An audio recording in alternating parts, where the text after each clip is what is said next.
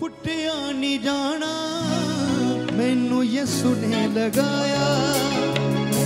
ਪੁੱਟਿਆ ਨਹੀਂ ਜਾਣਾ। ਮੈਨੂੰ ਯਿਸੂ ਨੇ ਲਗਾਇਆ।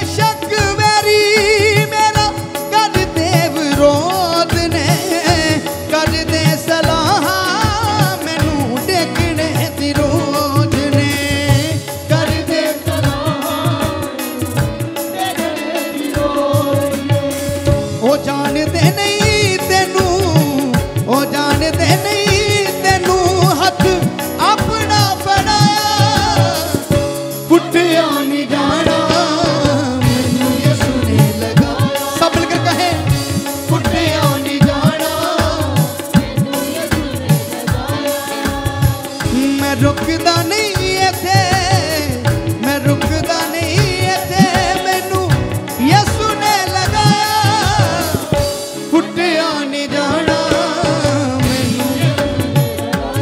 ਸਭ ਕਹੇ